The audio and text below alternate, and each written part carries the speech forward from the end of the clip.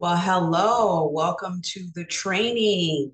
This is how to become an author faster and easier using a simple five step framework. Welcome.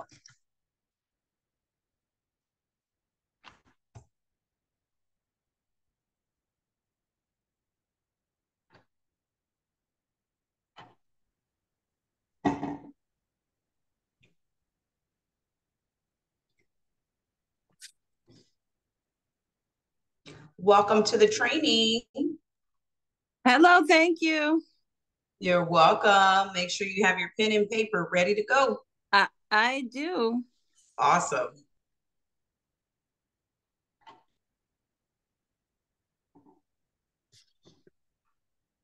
All right, we're going to go ahead and get started. It is after 7:30. We're going to start on time and we're going to end on time. So welcome. Go ahead and mute yourself. Tonight, we're going to be talking about how to become a successful author faster and easier using a simple five step framework, which I created for myself seven years ago. So, I'm going to be teaching you what I teach my clients and what I teach myself. Every single time I get ready to write a book, I use this five step formula.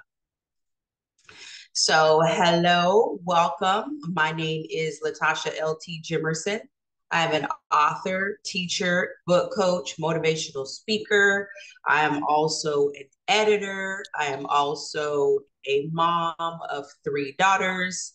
And I am a teacher of 20 years. I've taught history, I've taught English, and I've taught everything from middle school to high school. And I even taught one summer uh, first grade for students with autism. So I have been in education for a long time. Uh, my the love of my life is teaching. I could teach all day long, um, and it doesn't matter to who, as long as there are people to listen. So thank you for being here tonight. I know that it is a holiday evening, and I appreciate you being here with me you could be anywhere. You could be hanging out. You could be doing the barbecue, which you may have already done. Um, you could be hanging out with friends, family, but you are here with me and you are going to learn how to stay consistent and to finally get your book done so that you can do some other things that you want to do in the world. All right, so go ahead and mute yourself, grab your pen and your paper. We're going to be taking a lot of notes. I'm going to be sharing with you some uh, recent statistics that have to do with publishing. I'm going to be sharing with you some uh, stories and case studies from people that I know and from my own clients. And it's going to be a fun time. If you have any questions, I want you to put your questions in the chat. Do not hesitate to put the question there, and I will answer the question at the end of the training. Okay, so why do I talk so much about books? Why do I love books? Why do I think everybody should have a book? Like, why did I start creating books in the first place? And so I want to share some statistics with you from a post that I recently found on LinkedIn. And it says, establish authority and credibility. And it talks about publishing a book does position you as an authority in your field and that authority carries professional weight. Michael Schultz, principal of the Wesley Hills Group, conducted a study in 2006 with business book authors to find out if a book helped the author or their business. Schultz reported the vast majority of the authors we surveyed, 96%, said they did realize a significant right? Pay attention to that number. That's 96% said that they did realize a significant positive impact on their businesses from writing a book and would recommend the practice to other people. Additionally, reporters seeking expert quotes for their articles or stories can discover you through your book and seek you out for a quote. It's a common reaction to view someone as an authority on a subject and say they wrote the book on it when we recognize their expertise.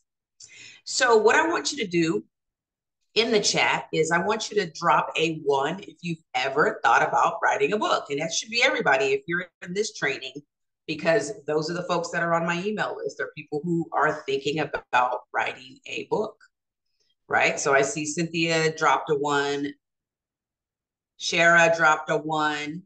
Awesome. Thank you so much, Shara. I had to remember and, and tell myself it's Shara. Shara. Who else? There's, there's only two people in here that are thinking about writing a book. Drop a one if it's you.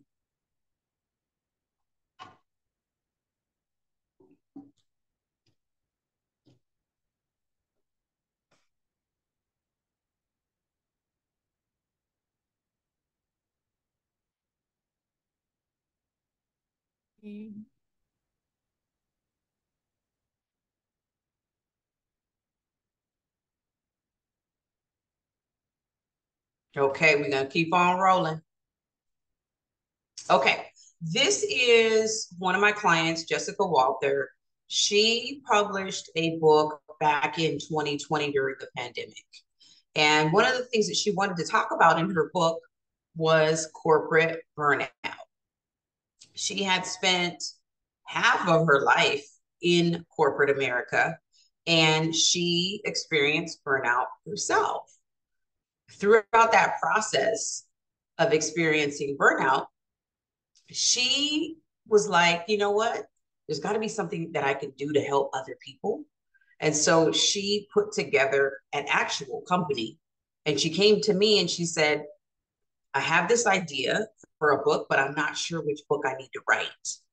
And so we talked a lot about the different kinds of books, We talked about which books are relevant. And I said, Well, what is your expertise? And she said, I'm not sure, but I have a coaching company. And I said, Well, what do you do with your coaching company? Well, I, I coach people who are um, coming out of corporate or still in corporate and they are, experiencing burnout. They don't know exactly how to deal with it.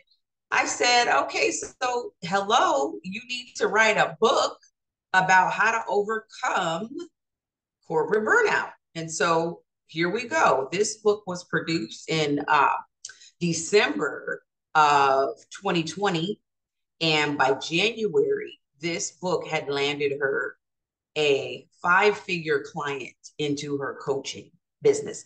And if you Google Jessica Walther, her company will come up. It's called Itervate. And it is a thriving company where she helps people overcome burnout. And it's based on her story. It is based on what she's been through. And so if you are an expert, which most of you are because you're on my email list, if you're an expert, if you are a coach, if you're a teacher, if you are a mom, a mentor, if you are someone who has ever given advice to anyone else, then you have an expertise, you have knowledge, you have wisdom, and it should be in a book. Okay. All right. So let's drop a two. If you can relate to Jessica's story, if you've ever been through any kind of burnout or any kind of stress or any kind of negative situation. And I see your question, Cynthia. I'm going to answer it towards the end.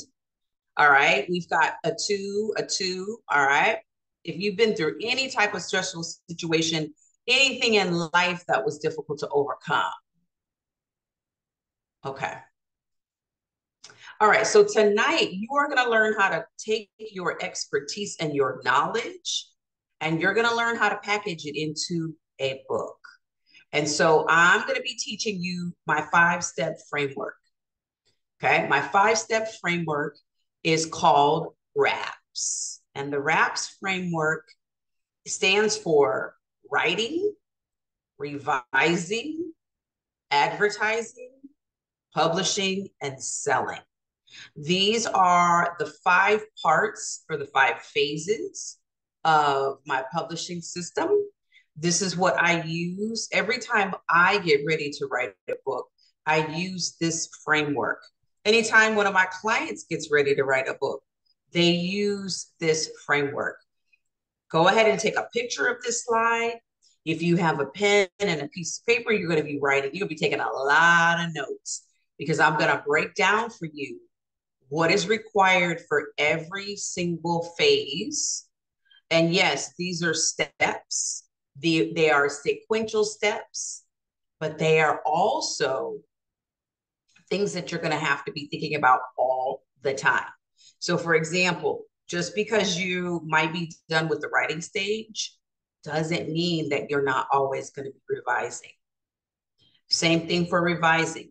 Once you get out of the revising stage, you're going to step into advertising, publishing, and selling, but you're also going to keep in the back of your mind that you're still revising all the time because you're always going to get better.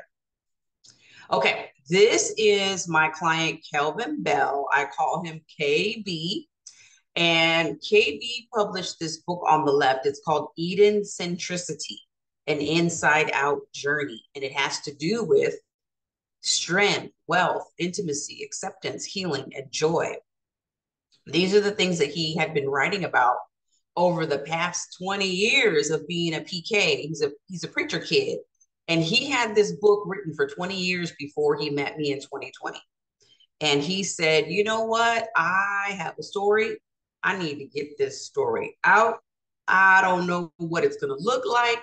He says, I don't even have a cover. I don't have a name, but I know that this book has been on the bookshelf for too long. It's collecting too much dust, and I'm ready to let it out.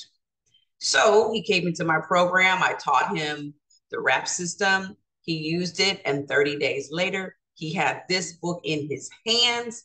We did a complete launch party for him with his wife in the room. He wrote a beautiful dedication to his wife, Brenda, at the beginning of the book. And he read it out loud at his launch party. I called him out, I put him on the spot.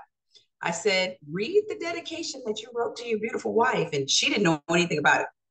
During the launch party, everyone in the room family, friends, uh, church mates, colleagues, co-workers, neighbors, everyone inside of his home, they were in tears by the time he finished reading that dedication to his wife, because he talked about all kinds of things, you know, strength, intimacy, acceptance, healing, joy, wealth, all the things that he's been able to build with his wife.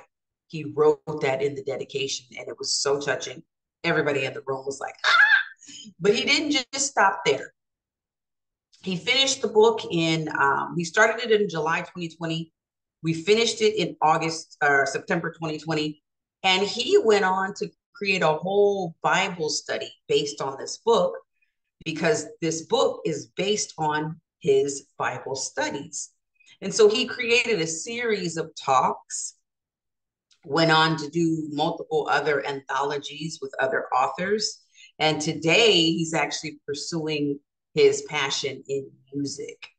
And so if you have a story, you have expertise, you have something that's been inside of you for so long, you're like, man, I'm just, I'm pregnant with this thing. I'm pregnant with these ideas.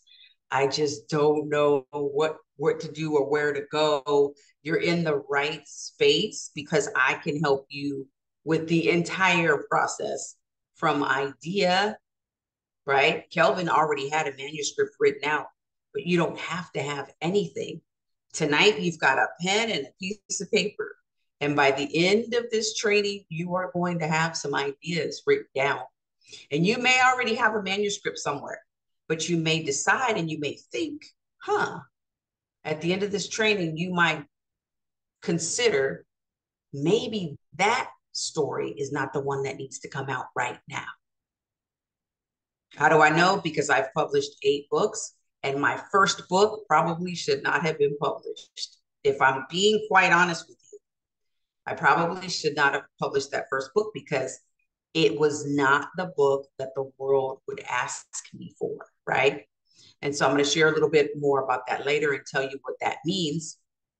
Let's just keep on rolling. All right, so this is a workshop that I conducted when I used to live in Las Vegas. I used to live in Las Vegas, Nevada. And what I did every time I visit another city, I go and I visit the public library. I ask the public librarian, "Hey, do you have a space? Um, do you do you ever do any events for authors? Is there a space that I could have to where I could teach a small workshop?" And so at this particular library, she said, "Yes." Coordinator said, "Absolutely. This is how much it costs to rent the room. You know, we can put the flyers up for you. We can help you promote the event." And yeah, it's going to be wonderful. And so this was a Saturday afternoon. I brought in uh, a bunch of my books and a bunch of my worksheets because I'm a teacher, so I always got worksheets. And I sat there for three hours and I helped these folks come in and sit down and map out their entire book idea in one sitting, one three hour session. They left with a paper full of ideas and they knew exactly what they were going to be writing in their books as they were on their way home. And so this is one of the things that you can do as an, a self-published author. You can go to a library and you can ask the librarian, hey, is it okay if I come in and I do a training on whatever it is that that you're an expert at? And this is why you need to know what you what your expertise is because if these folks are going to be willing to help you out. They need to know what you're promoting. And so this is one of the reasons why I say my first book should not have been published because I would never have been able to hold a workshop based on my first book. At least not a profitable workshop, right? Because when you host these events, you want to get people into the room so that you can share with them and you can bore into them, but you can also gain a client. Let's face it, no one wants to write a book that nobody is going to buy, right? And you want not just a reader or a customer, you actually want a client, which is someone who you can support and you can walk through their journey and help them. Okay, so notice at the top left corner, there is the, the uh, W.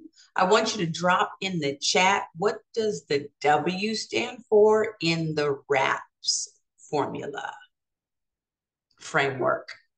I'm going to say formula or framework. It's the same thing. What does the W stand for?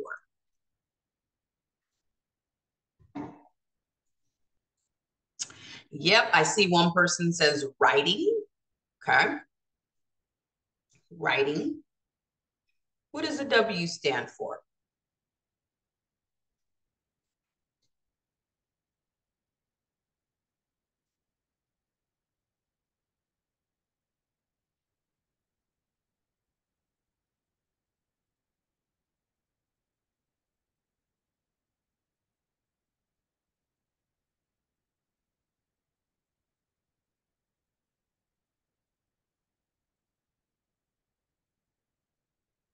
All right, you are correct. It is writing. Okay, so let's talk about writing. These are the top 10 reasons why people never write their book. In fact, 80% of adults in America say that they want to write a book, but 1%, I want you to write that down 80% of American adults say they want to write a book, but 1% actually puts the pen to the paper and writes the book. Okay? I want you to just think about that for a second. 80%, 8 out of 10 people say that they want to write a book, but 1% actually writes the book. Would you like to be a part of that 1%?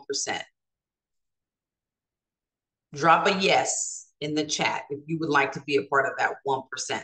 That 1% of people, those are the folks who are committed to their word. Those are the people that are impeccable with their word. They do what they say they're going to do, they have integrity. Those are the people that are successful. They hit all of their targets on their in, their income goals, their relationship goals, when you are impeccable with your word, that means you set goals and you meet them because you hold yourself accountable. Okay, so number one, we've all struggled with these excuses or reasons. Um, number one is the lack of time. Many writers juggle writing with full time jobs. Okay, put a thumbs up in the chat if you have a full time job. Actually, it's going to be thumbs up.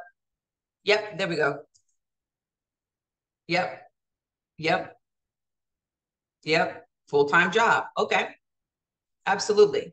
So many writers juggle writing with a full time job, family responsibilities, and other commitments. Finding consistent blocks of time to write can be challenging. And this comes from selfpub, selfpub.com um, and Links Publisher if you want to go look that up. That's number one. When I first started writing books in 2017, I was teaching full time. I was a social studies teacher. I was teaching uh, seventh and eighth grade. And I was extremely busy because I also had three children, two teenagers, and one in elementary school. So I literally had stair steps. I had an elementary school daughter, I had a middle school daughter, and I had a high school daughter. So one was driving and one was learning how to ride a bike. Can you imagine that? And I was writing books in the middle of the night when they went to bed, early in the morning before they got up, on the weekends, on the holidays, days like this, like holidays, those were the days that I was like, okay, I don't have to work today. Okay, kids, I'm going to have you hang out with your cousins. I am going to be over here writing my book. That's literally how I organized my life was, okay, kids, you're going to go hang out with your cousins. I'm going to sit here in front of this computer and I'm going to do some writing. If if you want to do it, there's a will, there's a way. If you have the will, God will give you the way and you will get it done. So number 1 is not an excuse. We all have 24 hours a day and all of the most successful people in the world, the 111%, they have exactly the same number of hours that we do. There's no excuse. Okay, so let's go on to number two. Number two is perfectionism. Writers often get stuck trying to perfect every sentence and chapter before moving forward. Oh my gosh, I'm so guilty of this. Raise your hand if you're guilty of being a perfectionistic person, trying to get everything exactly right. Raise your hands up. I'm raising two hands because that's me. This can lead to endless revisions and difficulty completing the manuscript. Yep. So let me look at the chat and see who's in here like me, perfectionist. Yep. Yep. I see one perfectionist. Two, I see two perfectionists. Absolutely. You can get stuck trying to be perfect, right? So, perfectionism, just we need to understand that when you are a self published author, you have the ability to go back and revise your manuscript and you can always republish it again. Okay, that's the beauty of being able to publish your own book is that if you do find something, there have been a couple of books that I've published. I've published eight. Um, and the first three, there were errors, but I had already put them out. And guess what I did? When someone brought it to my attention that there was an error, or when I discovered an error, I went back and re redid my manuscript, got someone to help me go through it again, put it back up. And guess what? I just went to those readers and I said, hey, here's a new copy of this book. It's a revised version. It's better than new. And guess what those readers said? Okay. Like it wasn't a big deal. So get perfectionism out of the way because it's not going to be able to stop you from being successful with your book. Okay. Number three, many writers suffer from imposter syndrome, doubting their abilities and the value of their work. This can be a significant barrier to your progress. Now, We all have struggled with self doubt. Drop a three in the chat if you've ever experienced self doubt. You can be the most experienced person at work. You could be the leader. You could be um, the CEO, the founder. Yeah, you could be the, the grandma, like the person in the room that has the most wisdom, the matriarch, right? And you could still doubt your abilities and doubt the value of your work. It's just something in your mind. You have to just overcome it and say, you know what? I'm going to do it anyway because no one's perfect, right? So let's let's just cross out number 3. Number 4, procrastination. Writers may procrastinate due to fear of failure. This number 3 and number 4 go together like this. Okay? Um, writers may procrastinate due to fear of failure or because they find it difficult to maintain focus and discipline over long periods of time. Okay, now I, I want you to be honest because I created this training for you. And there were several people that signed up for this training.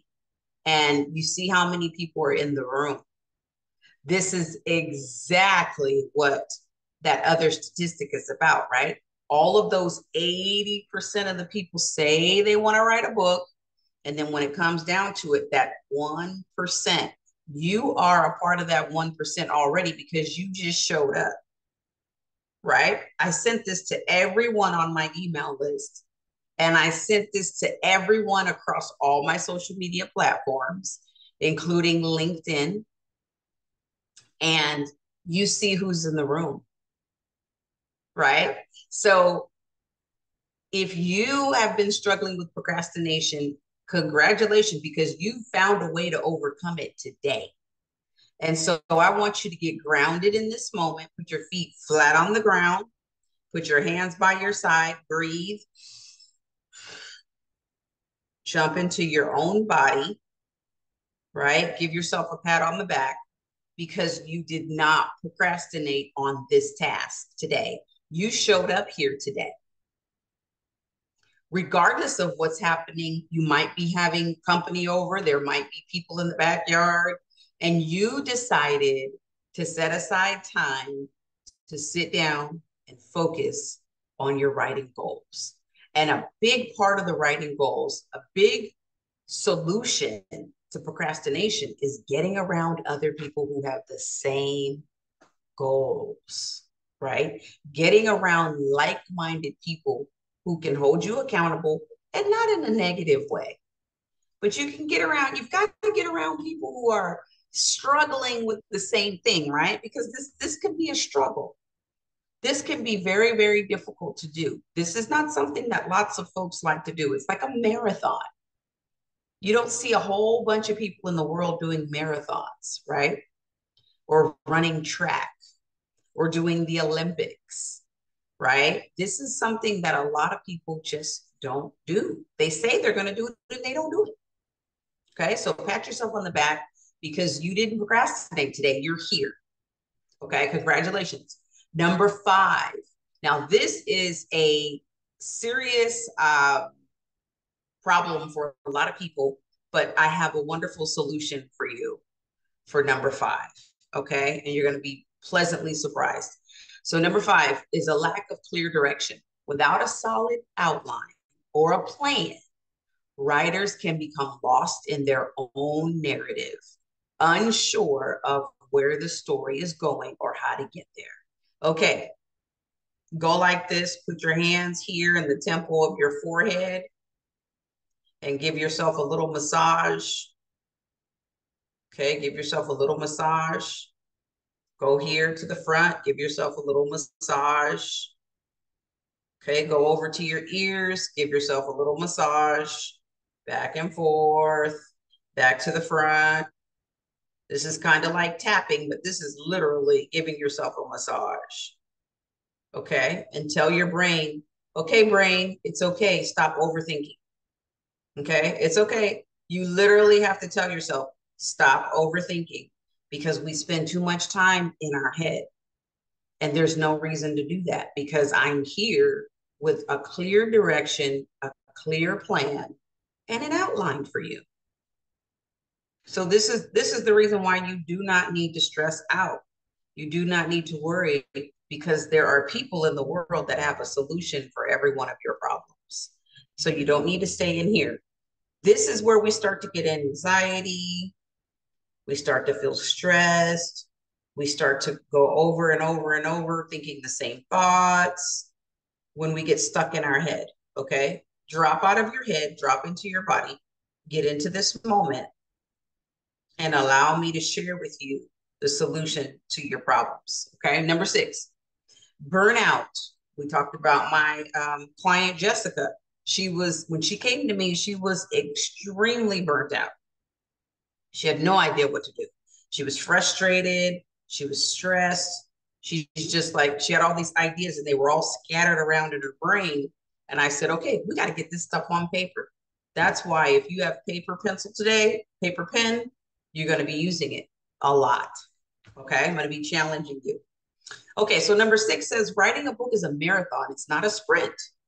Writers can burn out from the intense effort required in the head especially if they push themselves too hard without any breaks. Okay. So tonight we're going to have a couple of brain breaks because it is going to be pretty hectic with you writing on, on paper. Okay. Number seven, distractions. Modern life is full of distractions from social media to household chores, which can interrupt writing time and break concentration. All right. Put in the chat how many minutes did you spend writing today? And be honest. If it's zero minutes, it's just zero minutes. Put in put in the chat. How many? Okay, good, good. How many minutes did you spend writing today? Okay, very good. Good, good. And this is the reason why we have to stay in community with people who are like-minded. Okay, because there are times when we will get zero minutes of writing done, and that's okay. All right, so number eight, fear of criticism. This one is kind of like number three and number four. Writers may fear that their work will be poorly received by readers and critics, which can paralyze their progress. Okay, there are very mean people in the world. And so, number eight is a very real reason not to put anything out because so many people can be negative. But I'm going to teach you how to overcome that. Okay. Number nine, the lack of motivation. The initial excitement of starting a new project can fade over time, making it difficult to stay motivated through the more tedious aspects of writing. Okay, drop a nine in the chat if you've ever felt lack of motivation. You had the idea, it was awesome. You got inspired. You you told someone, they were excited for you, and then the next day you were like, "Oh, I actually have to start writing." Oh. that happens to me all the time. I'm like, "Well, I've got a new project I've got an idea, I have a vision for something. And then the next day it's like, oh, shoot, now I actually have to take action on that.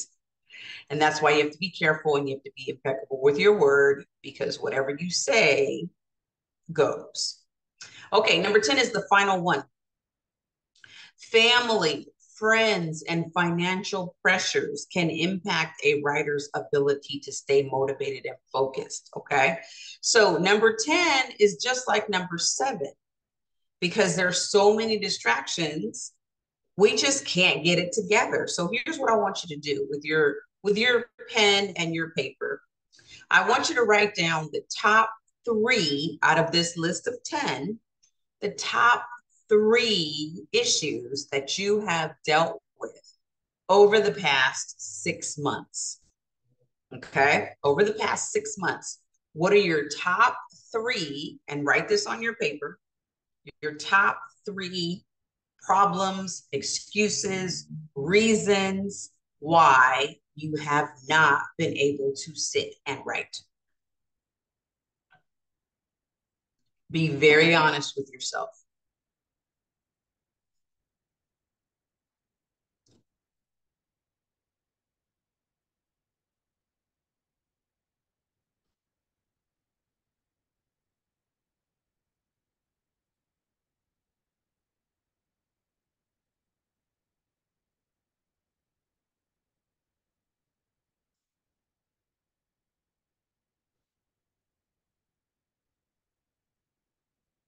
All right, so you've got your top three. Now, what is your top one? I want you to actually type out the phrase instead of putting the number.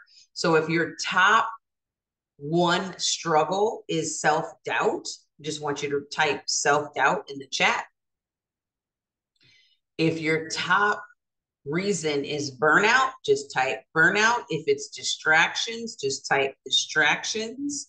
If it's fear of criticism, right? fear of criticism, lack of motivation, external pressures, perfectionism, lack of time, lack of clear direction.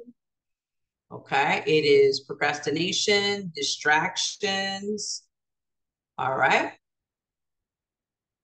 Okay, let's keep rolling. I'm going to give you some tips on how to overcome procrastination and distractions. I'm going to give you some very clear steps on how to continue to move forward despite these things. Okay, so here's my client, Antonietta McGoey. She is a high school teacher. She works in New York City and she commutes from Pennsylvania every day. She's also a caretaker for her for her grand uh, not grandchildren for her parents, and her parents are in their 80s, so she takes care of them. She also has two children at home, and she's married. Her desire was to get her book out in 90 days or less with minimal stress, and that is literally what I do. And we were able to accomplish that, even though she's a busy teacher, she's a busy wife, she's a busy mom, and she's a caretaker for her parents. She was still able to get her book done because she did not allow any of those excuses to get in her way. She followed the formula, she went through the steps, and she got it done. This is my secret weapon. Okay, you can take a picture of this. Um, at the end, if you stay all the way to the end, I have a free gift, and it is this right here, which is a game changer for your writing. For people who are in their heads, constantly thinking lots of ideas, it's important that you structure your ideas into a very detailed outline. Now, there is a pre step. Before you do your outline, you have to brainstorm your topics. Because if you try to do an outline and you're not really clear about your topic, you're going to have to start over and over and over again. So the step before the outline is to just take out a piece of paper like you do now and write down all of the things that you could possibly write a book about. And so we're going to do that right now. We're going to take two minutes. I'm going to put two minutes on the timer.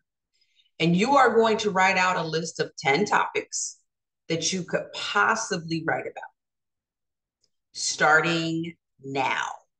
Go ahead and go. 10 topics that you can write about in a book, things that you are an expert on. Two minutes.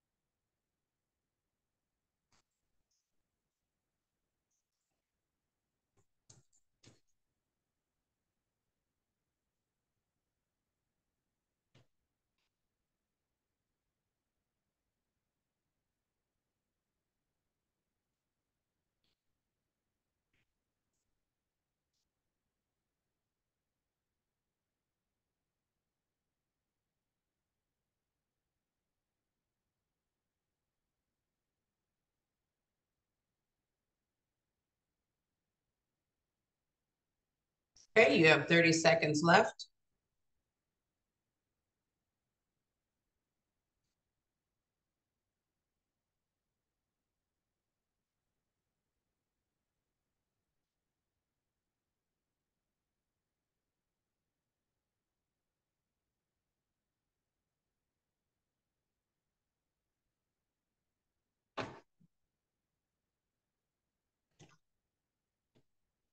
Okay, I want you to type in the chat your top two. What are the top two topics that you could write a book about? These have to be topics that, that you're an expert on. It has to be things that you could literally talk about for hours without any notes, without any handouts, without any books. What are your top two topics?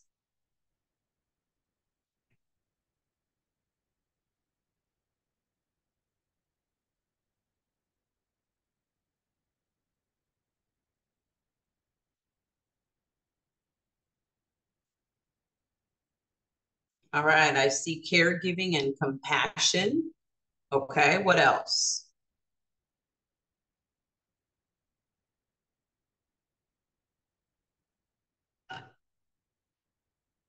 All right, decluttering and self-care. Excellent topics.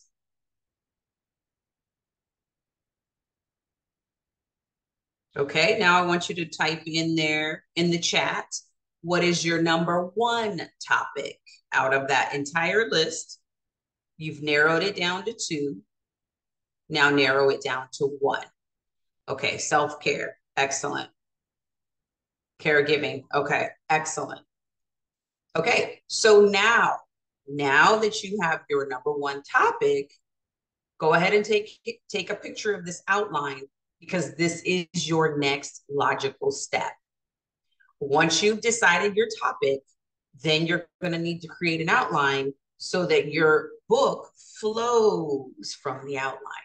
The outline is the basis of your book. It's the bare bones, bare minimal structure of your book. When you follow the outline, you will be very clear about what it is that you plan to write in those chapters. And we'll come back to the outline again a little bit later. Okay, let's keep on rolling. So again, here's my client, Antonietta McGoey. Not only was she able to write a book through the 90-day process that we went through, but she used this process to teach her daughter how to write a book. So here they are celebrating the day that she finished her book. And on another occasion, her daughter brought out her book and we did a whole separate celebration for her. And it was beautiful because everything that she was watching, everything that she saw her mom do, she repeated the steps. And so if you have kids, drop a heart if you have kids or grandkids or nieces or nephews. The beautiful thing about learning is that you can pass this knowledge on and it can continue to be passed on forever. So the steps that I'm teaching you tonight, they are repeatable steps. Once you learn these steps, you're not going to be able to unlearn them. You're going to be able to show other people how to do the process. You're going to be able to do the process repeatedly for yourself. And that's the beauty of, of knowledge it's the gift that just keeps on giving and you just keep getting better and better and better. On the left hand side is a picture of a clubhouse room. If you've ever been in Clubhouse, drop a thumbs up. If you've ever been on Clubhouse, that was the big thing 2020, 2021, and even 2022 was the big audio app we were all in there, especially as teachers who were doing Zoom school at the time. We were in there having all kinds of conversations, chatting it up, and having a great time.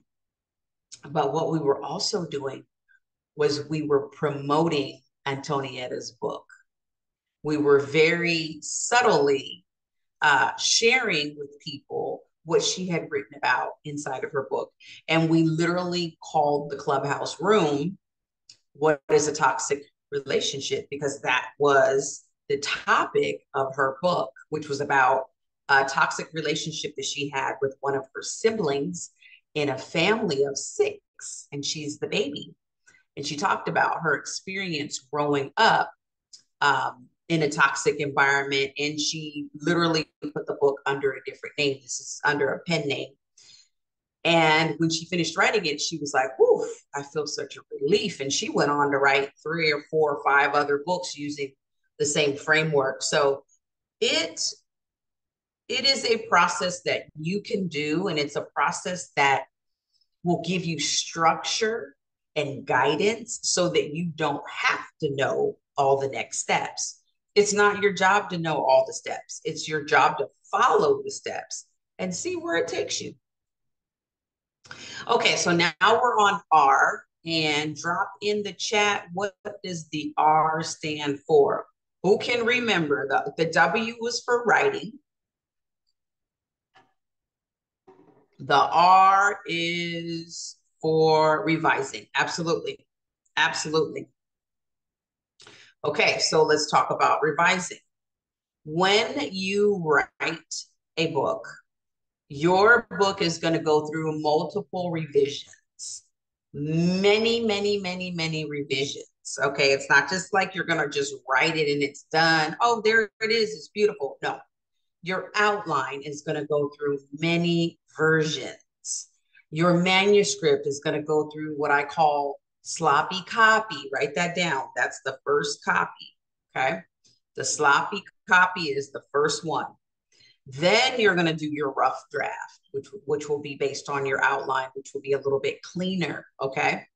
Then you'll do your next draft. So that's already three revisions. So the sloppy copy, the rough draft, the second draft, the fourth, and the fifth draft.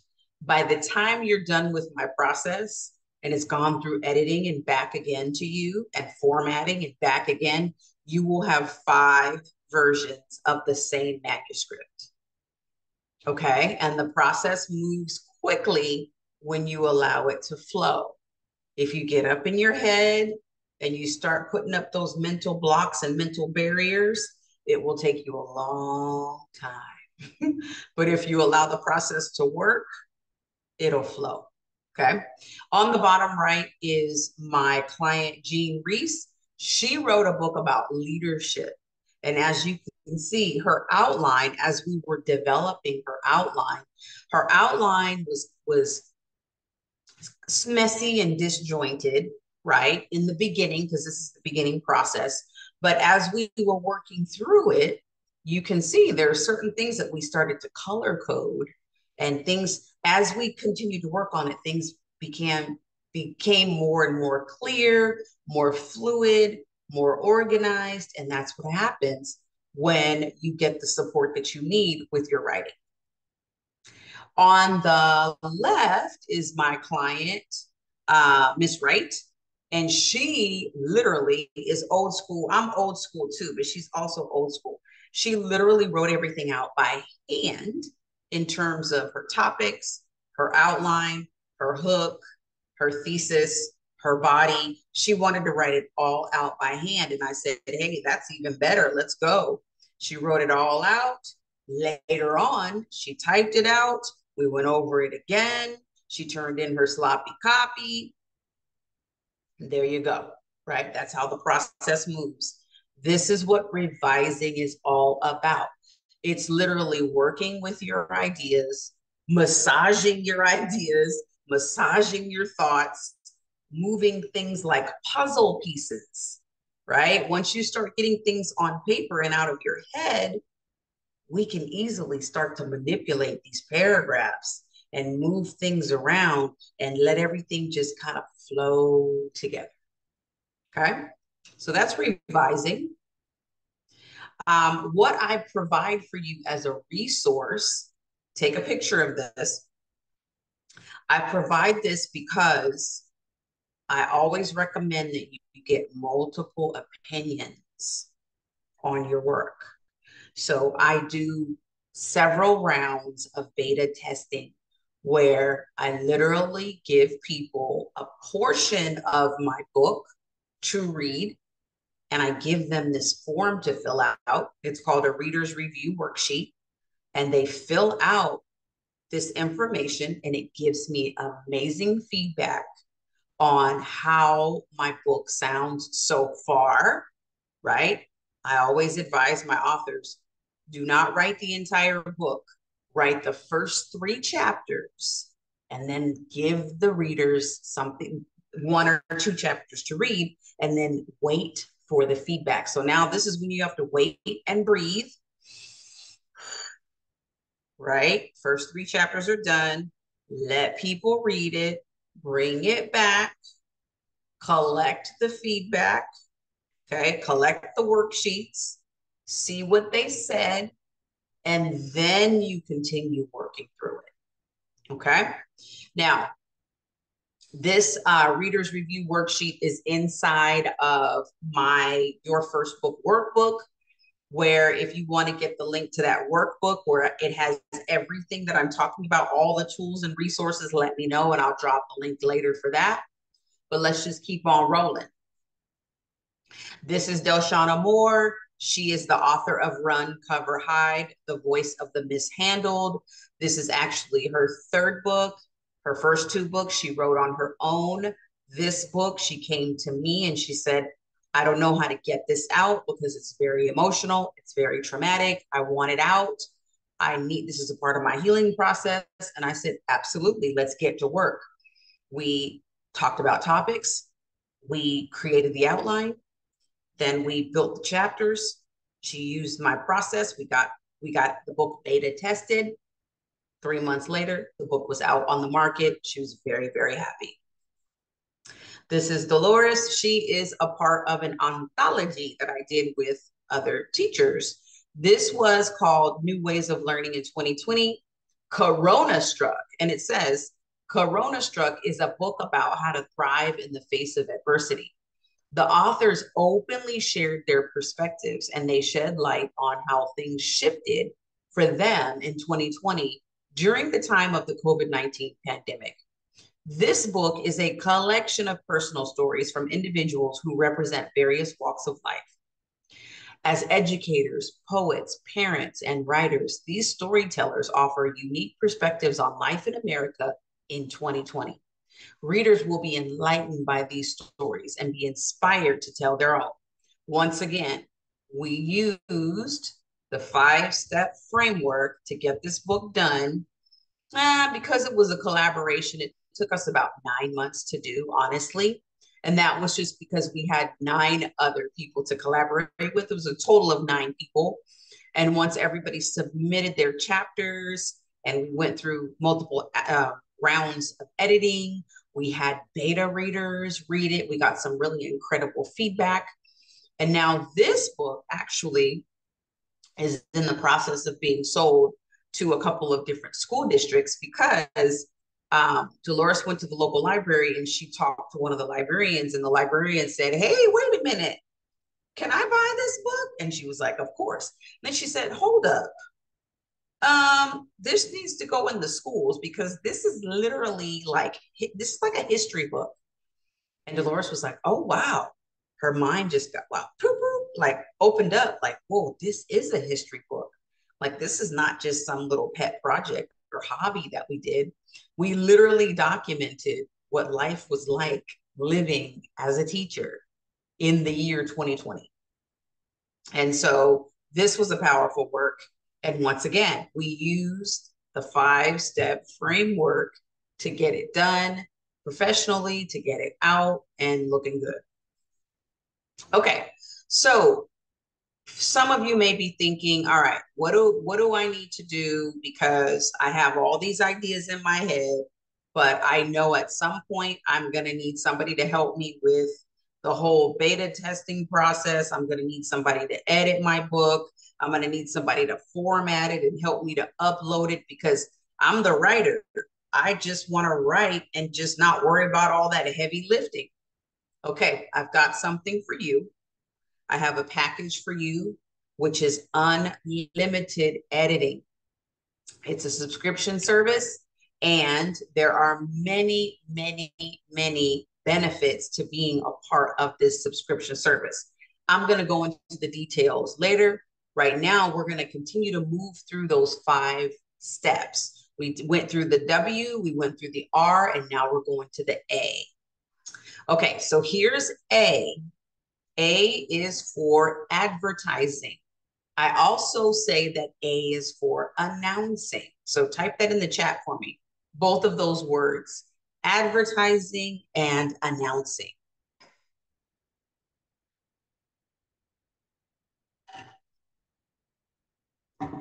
It's a double A.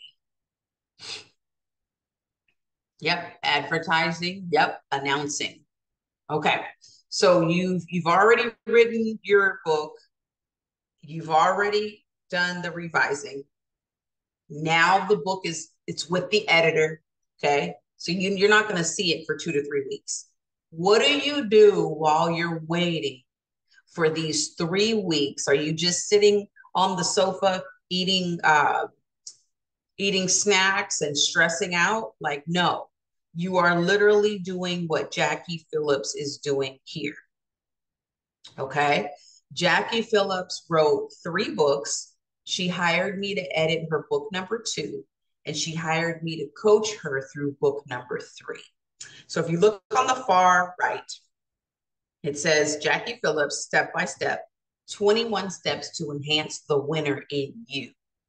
She hired me to do the proofreading and the editing on that book. And she says, working with Latasha has been a delight. I am working on my second book. I wrote, or this is her second, yes, I wrote the first book using another coach, but I had Latasha proofread and was impressed with those skills. It is quite evident that Latasha is a teacher and she instructs while she works with you. I am extremely pleased with how she is helping me to write. Jackie Phillips, business owner and educator. That was what she had to say about me helping her with that step by step book. The book in the middle is an upward climb toward faith. So I also helped her with this book in the middle. But what we did on the left hand side was we turned this book into a Facebook group and she started having live a live talk series so if you look up on the left hand side, it says Jackie Phillips was live. This was April 13th. I believe it was 2021. And she says, It's a perfect week to share your faith. Who in your family needs to know the good news and will only be able to hear it from you? That was her topic for that day. I gave her a very big homework assignment while we were waiting for the editors to edit, we were waiting for that whole process to happen. I was like, no way are you going to sit home and stress out. No way. You are going to do a 30 day live talk series and you are going to live stream into a Facebook group. She's like, What Facebook group? I said, The one that you're getting ready to create. She's like, Oh, I'm like, You're getting ready to grow this group. You're getting ready to blow it up. So when your book is done, hello, you will have people like this waiting on the edge of their seat. And so that's what I mean by announcing and advertising. You are literally talking to people about your book before it even drops so that you have an audience full of people to sell to. Many authors make this mistake of writing the whole book, getting it edited, publishing, putting it out, and then they try to do this whole marketing campaign. It's too late. It's too late. As soon as you come up with the idea to publish a book, you need to start talking to people about it, start sharing, getting excited, building the momentum. Because the question that you want them to ask is, Where's the link? Where's the book? Can we get the book? We've heard, we're okay, we've heard about it, we want it. That's the attitude that you want. And that's what advertising and announcing is. You're getting the people ready to be ready to buy the book. Okay. Drop a number four if you understand advertising and announcing.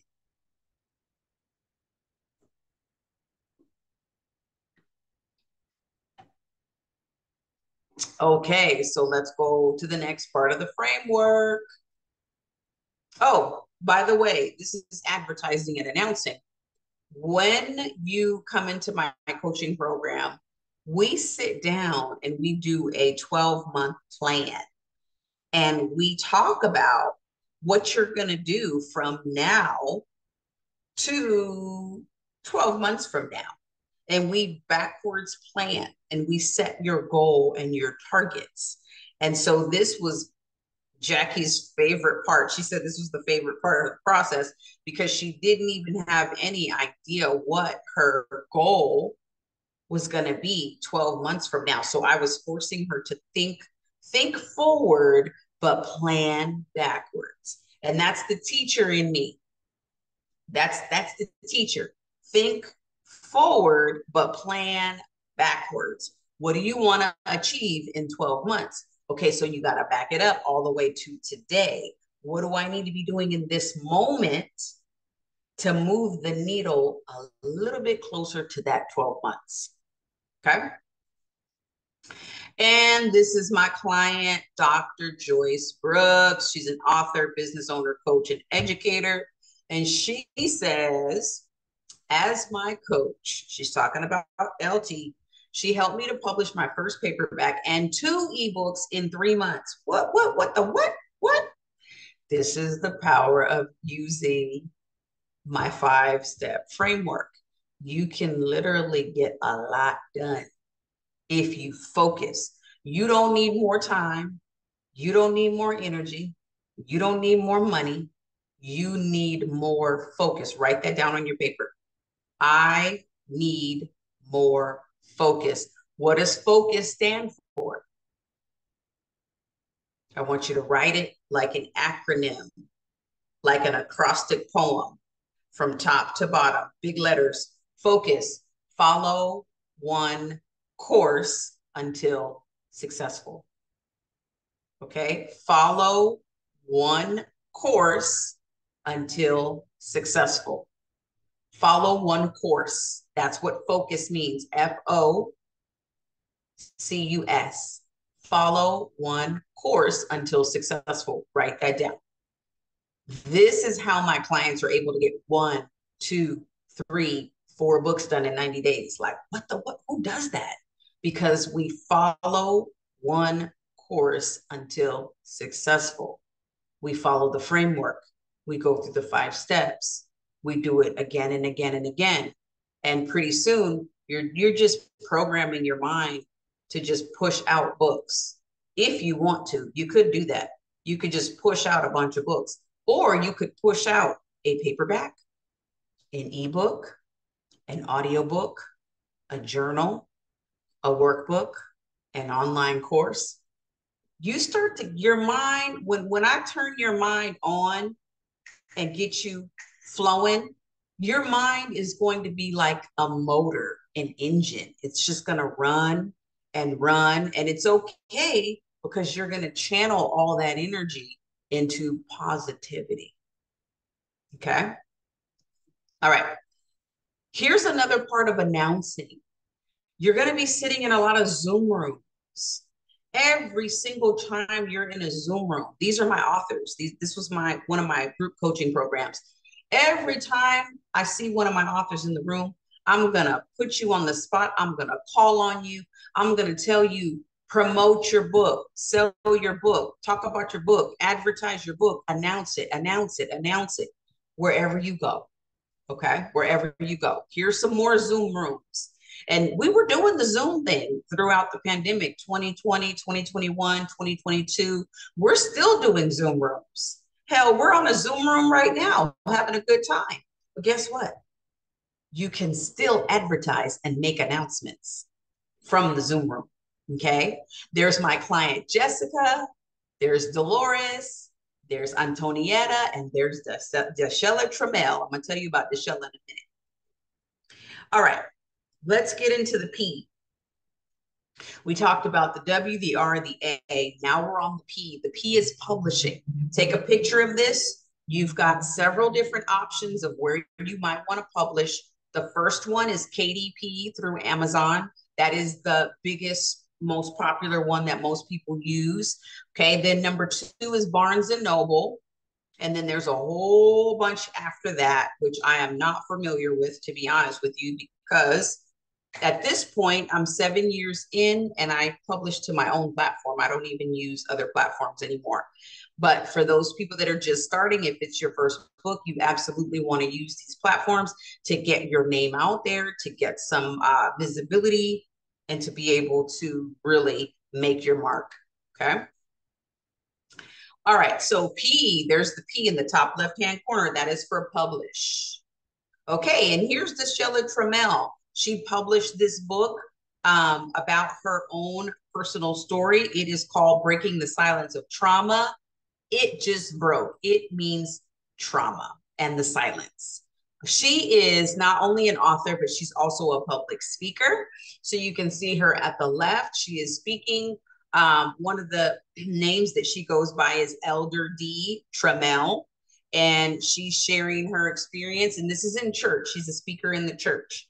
And so, what her book was able to do for her is to allow her to go through a healing process to be able to share and open up and be even more vulnerable with the people that she served for the church. And so she walked through my framework.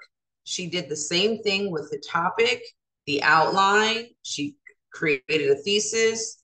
She created, you know, her main points. She went through the entire beta reading process and she got her book out. Took her probably, uh, I think she told me it took her 20 days to actually write the book. And then it took us 90 days for the book to be published, which is pretty standard with the whole uh, beta testing, editing, formatting process. It is about 90 days to go through that entire process with, with all of the feedback from uh, the beta testers. And so that process really for her, because she was going through a lot in her family, she experienced, I think she said 22 family members um, passed away and were sick from COVID. Her husband and her also ended up being in the hospital sick with COVID. And unfortunately, by the time her book was completely released and getting ready to launch, her husband passed away. And so we were never able to do a full book launch for this book, but stay tuned because she is definitely a thriver and she is she's coming back. So stay tuned for Miss DeShella Trammell, she's pretty incredible. Okay, let's talk about traditional publishing versus self-publishing. Obviously, there are some major differences um, in the publishing world. Publishing takes on a whole nother meaning. Um, even five years ago, publishing was completely different. So I want to break down a few differences between traditional and self-publishing so that you know exactly the kind of process that you will be walking into if you choose to work with me to publish your book. So on the left hand side is traditional publishing, on the right hand side is self publishing. And so on both sides, you write the book. Okay. Traditional, you write the book.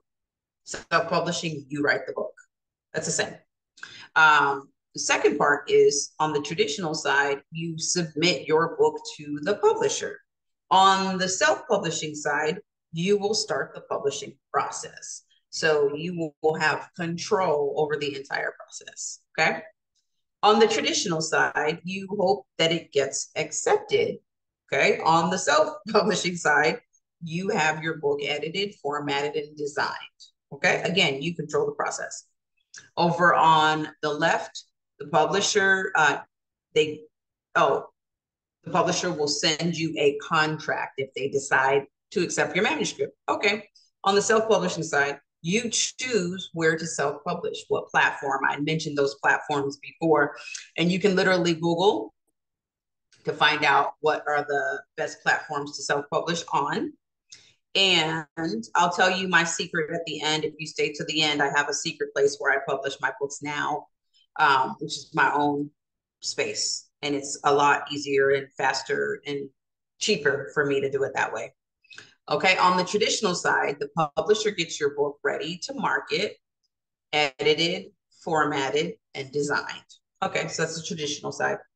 On the self publishing side, you choose where to self publish it and you market your own book. Now, on the traditional side, what they also don't tell you is sometimes they offer people an advance. And what that advance is for, because I've, I've heard people say, oh my gosh, this publisher offered me a $100,000. Should I take it? And I'm like, well, that depends. What is, what, what are the, what are the terms of that contract? And so you really have to think about that. What are the terms of the contract? You have to read the contract. You have to be very careful um, that you read the fine print and that the deal works out best for you. I am a component, a proponent of self-publishing because I am a bootstrapper. I am a DIY girl.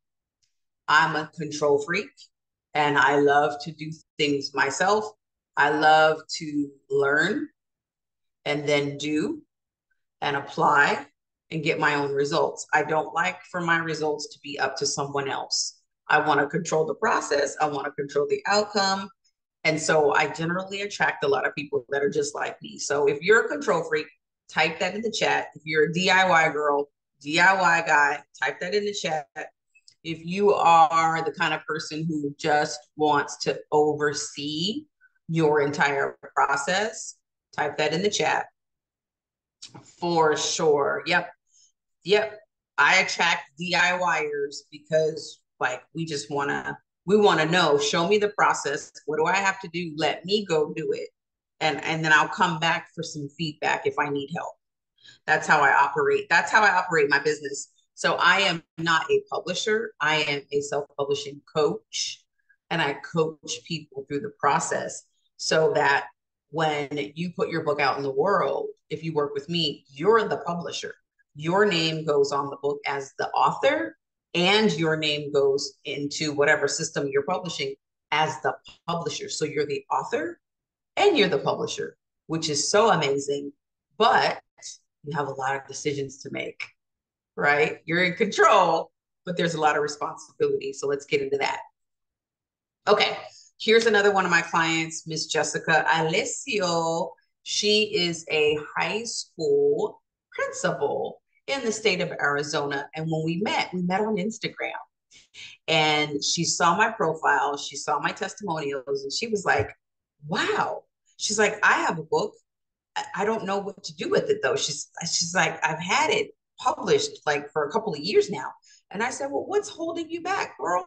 So we went through the whole thought process. We talked about all those top 10 reasons why, you know?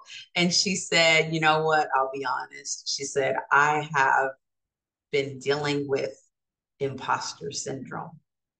She's like, I've just been thinking, who am I to become an author? I don't know if I'm good enough. I really don't know if anybody's going to really want to hear what I have to say. And I was like, girl, get over here. Let me tell you about yourself. And I told her about herself and I told her how incredible she is and how much knowledge, wisdom, and expertise that she needs to put into the world because the world needs it, especially in the area of education. Oh my gosh, by the time I was done with this woman, she was like, okay, all right, I, I'm going to do it. I'm going to do it and I'm going to go big. And she did. She had a launch party. And if you look at her on the left, she has a whole banner that literally like covered part of the coffee shop where she had her launch party.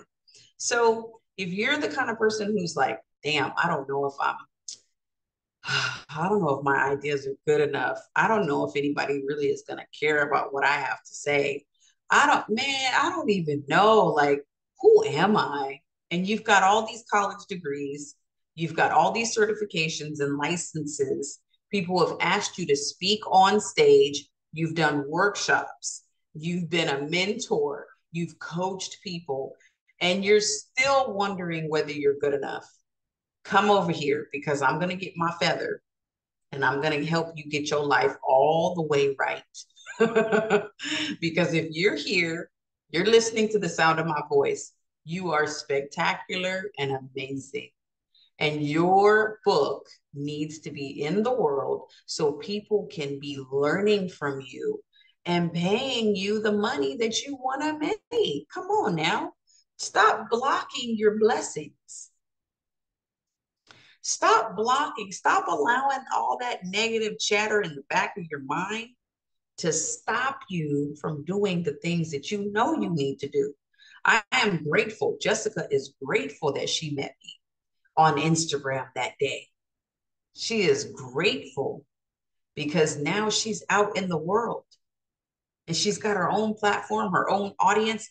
And in the beginning of that book, she's got two full pages of words of affirmation from her colleagues, her colleagues, her coworkers, her peers, her neighbors, her church mates, her family members. She's got two full pages of words of affirmation from those people. And I told her to do that. I said, we've got to get, we've got to get some words of affirmations for you because I need you to see on the page how much people love you, adore you, and respect you. And when she saw those pages, she was like, oh my God. She knew it was there, but she didn't know it was there. She could sense it, but she didn't know how great she was. And so that's what this process does it takes you through and it really flips you inside out. This is an entire uh, spiritual, it's a physical, mental, emotional, but this is also a very spiritual um, experience that I walk you through because these are things that are coming out of your soul. And I don't take it lightly, I take it very seriously because if you are not guided in the right way, and if you are not nurtured and and really supported, this process could be something that is not enjoyable. Okay. And I've heard lots of stories of people going through publishing processes that were not fun. Okay, so here's some statistics, here's some data. We talked a little bit about self-publishing. We talked a little bit about traditional publishing. So this is from Reedsy, and it says ebook royalty rates across different publishing models. So on the left-hand side is royalties, and on uh, the bottom right is self-pub, small press, and traditional pub excuse me. And if you look at the bottom, it says 35% for ebooks outside the 299 to 999 price range. And then there's the double asterisk, and it says on average, the royalties will vary by publisher. Okay. So as you can see, traditional published authors gain about 25% of the royalties from their ebooks. Okay, okay, okay. Um, small press, there, there's something called vanity press or hybrid press these are companies that are sort of self-published, but then they're sort of traditional published. They kind of borrow from each um, method model. But I favor the self-pub. Look at the self-pub. The self-pub royalties is 70%, and in some cases, it's even higher. With the platform that I currently use, it's a 95% royalty rate that authors get now because I've learned, I've been in the game seven years. I've learned better. I do better. I teach better. And so um, that 70% is now 95% for the people that are in my community. Okay, and here are two more of my clients, Dr. Terrence Meekins and Michelle Smith Tynes. Um, I'm just going to go through these very, very quickly so that we can get to the next letter, which is the S. Okay, so uh, Dr. Meekin says, Latasha helped me get started with my book, and every month I have sold at least five copies. Great coach. There's nothing more exhilarating than getting an email that says that you got money going into your bank account. There's nothing more exhilarating, right? Show me the money. Type show me the money in the chat because that's what I want to do. I want to get you to the place where you produce a high quality book and your book is showing you the money. You want impact. You want to share with people your story. You want to share with people your knowledge, your expertise, and you want to bless people. You want to serve people. But dang on it, God dang it, I want you to have some more money in your bank account. Who wants some more money in your bank account? Put more money in your bank account. That's what I want for you. I want you to have more money in your bank account. And that's what Dr. Terrence Meekins is talking about. He says at least every month I've sold at least five copies. At least. That is the bare minimal. Okay. The bare minimal. On the right, Michelle says, I am now on the path to success. And thanks to LT, I was able to retain my sanity and even gain serenity. She was very stressed out busy teacher, busy mom, lots going on. She says, I will always be grateful for the help she provided. I would recommend her services to anyone, anywhere. All right, here is once again my client, Jean Reese. She's actually holding up a binder which has the very first version of my workbook, which is my curriculum for my course she's one of my originals because she's got that binder. That's what I used to create before I even uploaded anything to Amazon. I literally was self publishing my own books just using my binders and it was it was wonderful but still worked. Then eventually i went ahead and put all that knowledge and information into a workbook and i published that on amazon.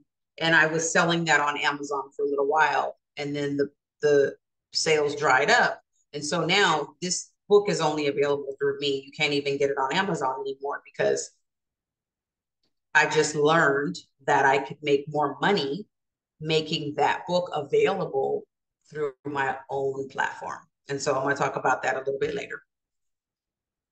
Okay, so let's talk about popular genres because you might be thinking, okay, all right, I see everybody with these books. I got a book. I'm not sure exactly what genre it's going to go under. I do plan on publishing on Amazon. Amazon's got all these different categories. How do I choose a category? Blah, blah, blah, blah, blah, blah, blah. All these different thoughts. Okay, let me bring your brain right down. Let's breathe. Okay. All right. So these are the most popular nonfiction genres. My expertise is in nonfiction. I have a few fiction writers in my community. I have a few um, editors in my community that focus on fiction. Um, but the thing that is my jam that I love more than anything else is nonfiction. Okay. So the number one most popular type of book under nonfiction is biographies and memoirs. What are those? What are those? Personal stories of notable figures, including celebrity memoirs and historical biographies. Now, I used to teach people how to write their own memoir, and then I discovered that really, honestly, the big money comes when you're a celebrity. So I told you before, my first book I should have never even published. That was a memoir. I learned very quickly that I needed to shift away from promoting promoting the memoir and do something else. And that, that leads us to number two. Number two is self help. That is super, super, super my jam. So, books that are focused on personal development, motivation, and mental health. Drop a two if your book is going to be self help.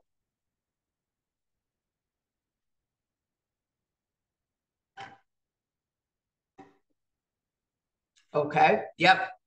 So you're in the right place because my jam is self help. The next most popular genre, which is also like really popular, really, really like big money makers, is health and fitness. And those are topics that are covering diet, exercise, and wellness. The fourth most popular genre, and this is Amazon, okay, cookbooks, recipes, culinary techniques from various cuisines. Okay. And number five, the fifth most popular nonfiction genre is religion and spirituality. Those are books that explore religious teachings, spirituality, and inspirational themes. So when you're choosing a genre, a category, your genre is like the big umbrella. Your categories are the little smaller themes underneath that. And that is important to you because you must choose the right keywords, the right categories if you want to be ranked highly. You have to be very, very uh, intentional about the words that you choose and what categories you put your book under. You can be under three categories on Amazon. So there's one umbrella category, and then you can choose two subcategories. So keep that in mind if you want to publish. If this is your first book and you're going to go ahead and publish on Amazon, keep your categories at the top of mind. Okay. And this is why it's so important for you to brainstorm your topics before you create your outline. You see how all of this fits together? It's a lot. It's a lot, but there's a reason behind it. Okay, here's another one of my clients. Her name is Pamela Askew. She used my framework to create not one, not two, not three, not four, not five, but nine ebooks on Amazon. And she did this within 90 days as she was writing the fiction novel on the left, which is called Three Stages of Drama. She was doing this all at the same time. So when I tell you that the WRAPS system is all at the same time, it's all at the same time. Okay. All right, we're on the S. The S is selling, show me the money. The S is selling and it also stands for show me the money. Okay. All right. So here's my client, Kyoko. And she says, This is her going live in my uh, Facebook group. She says, I want to share a win that I just made $20 in the most fun way selling. She loves to sell. She's a sales machine now. Now that she's gone through my process and we work together and she's gotten used to it. Now it's a lot of fun. In the beginning, she was like, I don't know about this. And now she's like, buy my book, buy my book. I'm like, yes. and this is my client, Gail. Her name is also Camille St. Charles, Mississippi. And she wrote a book called The Dessert Novella Suites. And that's her promoting her book in one of my Zoom rooms. And you already met Antonietta Magoe. She's at the top left hand corner. This is her launch party. Her launch party had one, two, three, four, five, six, seven people, including her and I. And it was a massive success because it launched her into the world of public speaking. And so now she gets asked to speak all over. She's famous. If you go to Clubhouse, and you look for Antonietta Magoe, she is like one of the most famous educators in all the different rooms on Clubhouse because she literally goes into other educators' rooms and she literally goes up to the stage and she lights up the whole room. And so this launch party was like her debut into the world after she wrote that book under her pen name which I'll let you just Google that on your own. There's a story behind that. Okay, so we're almost done here. We're wrapping this up. So now we're going to talk about money. So sales. How much does an author make per book per year? All right, so here's what it says. And this information comes from, and you can take a picture of the slide, Mixzell Book Writing is the website authors can expect to make book writing an only um, living resource if they have multiple books on the go know how to market them well and have an active and enthusiastic fan base that is I, I want you to write that down and highlight that and put a star next to that okay so a lot of people come to me and they say, LT, I want to be a full time author. I want to quit my job. I want to be, you know, out there. I want to be on stage. I want to do, you know, conferences and all this kind of stuff. And I'm like, okay, you got to be real strategic you got to be real strategic. Okay. Let's read this first sentence again. And I want you to write this in your notes.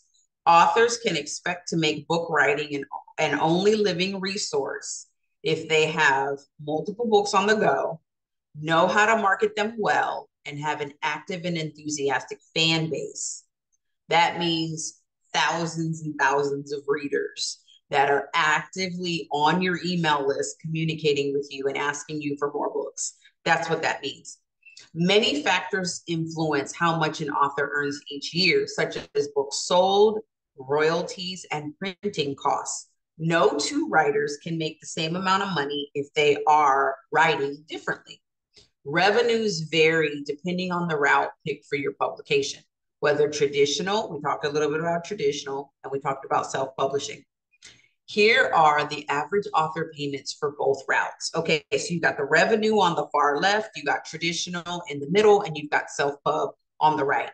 So the book retail price for traditional versus self pub might be the same.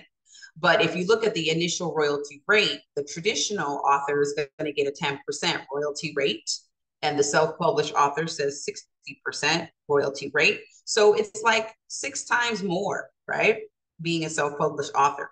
The income per book is $1.79 for traditional authors and $5.74 for self-pub. Income per book, 6,000. Income per book, 6,000. But if you look at the earnings in total for the year, if you're a traditionally traditionally published author, you can expect to earn around $10,000 a year if you are a self-published author, you can expect to earn about $34,000 a year. So if you're a self-pub author, you're going to earn three times more than being a traditionally published author. And that's why I love being a self-published author. That's my jam because when it comes to the money, there's more money.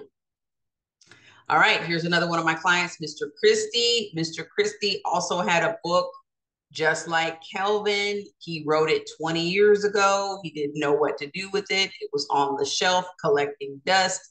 I was like, get out here. Come on, let's get this book done. I explained to him what to do. He went home and did his homework. He did it all by himself, came back and said, Hey, I followed the steps. I did what you told me to do. And now I have this book. Here's your copy. I was like, What? He goes, What do I do now? I said, Oh, we about to go on the road. So this is him and I at our local library. We taught in the same city, but not at the same time.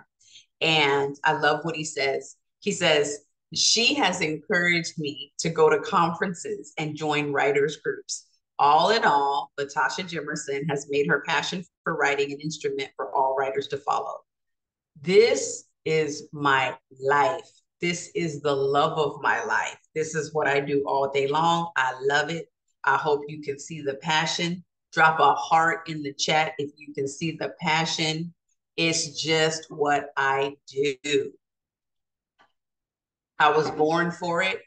I went to school when I was three. I was in the Head Start program. My favorite part of the process was sitting in school like this on the carpet, crisscross applesauce, waiting for my teacher to read story time, boys and girls that was my favorite time in school.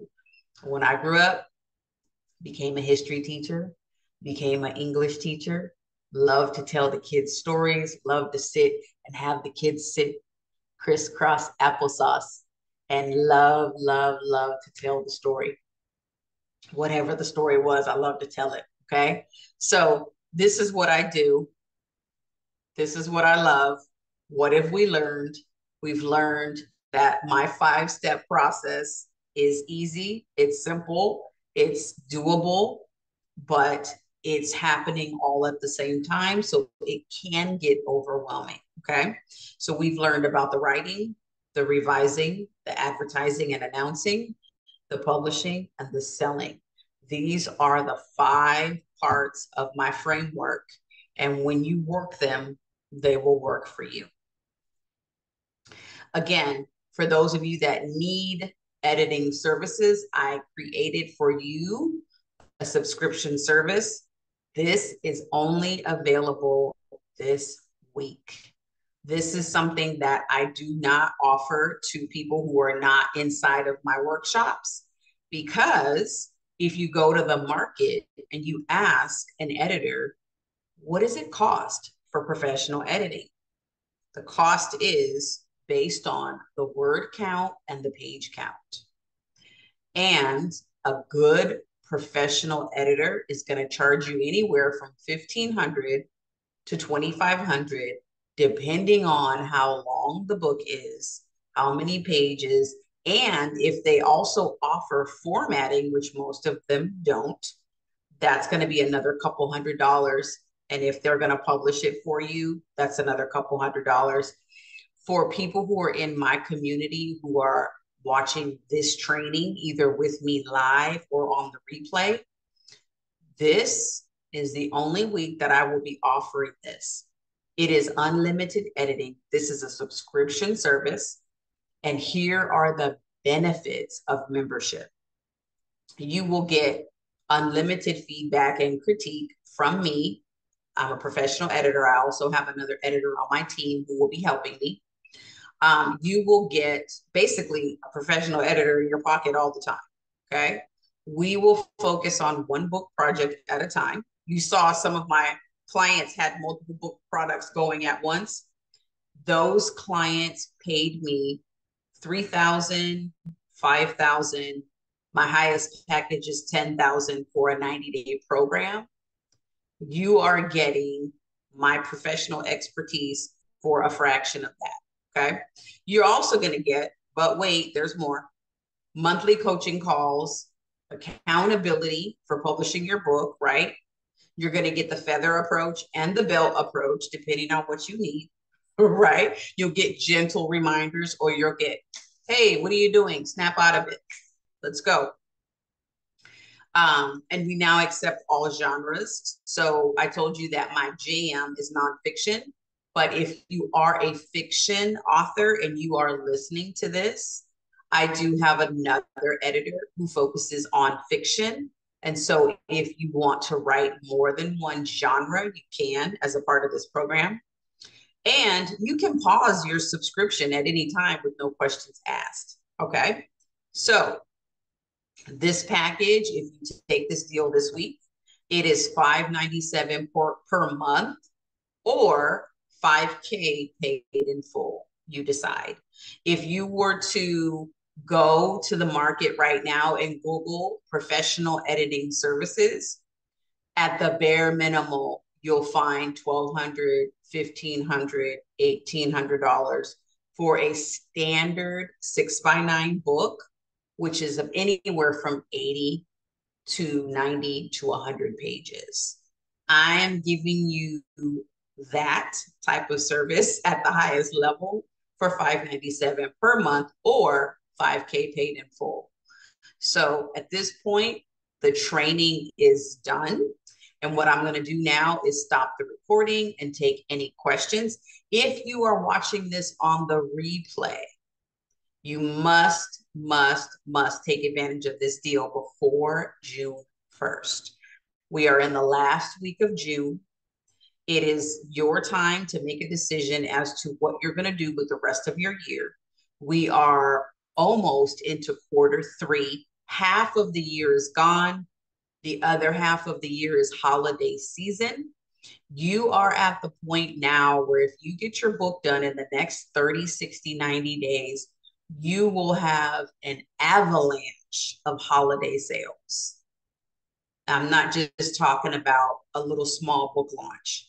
If you work with me and you do what you're supposed to do, you will have an avalanche of sales you will hit all of your goals, all of your targets. And I will throw in for you because I love you.